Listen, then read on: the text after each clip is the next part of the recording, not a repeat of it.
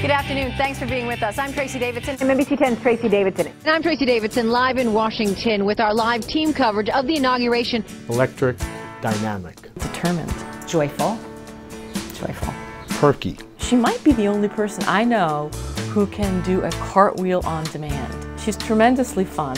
She is real. She is Tracy. To go back at her age to finish her studies was really quite remarkable. She finished her, her degree and then she went on and got a master's degree. Say what you want to say, let the words fall out. Honestly, I want to see you be brave. Most people wouldn't think of journalists as being uh, spiritual beings. Uh, most aren't. but she is, and that makes her unique in our field.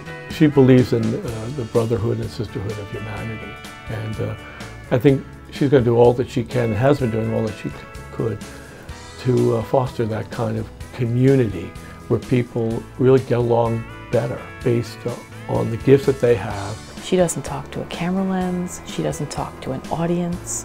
She talks to individual people. Well, for a lot of us, the last 12 months have been kind of hard. I mean, we've been struggling. It's been a bumpy ride. For all the times that you hear about a young person in trouble, this story is about exceptional college students. I really like watching her because I think she's so honest. Very trustworthy. She uh, very optimistic, and I think she really wants to hear the other person, to know the other person. She is passionate about being compassionate. And we will help you survive and thrive. So you're getting something that usually is $3.89 mm-hmm. for 80 cents. Yeah. I had been told by the news director that the two of us would be sent to uh, the Atlanta Olympics to cover it. And when the bombing happened, I'm telling you, Tracy Davidson shifted into like news director slash managing editor slash reporter slash anchor.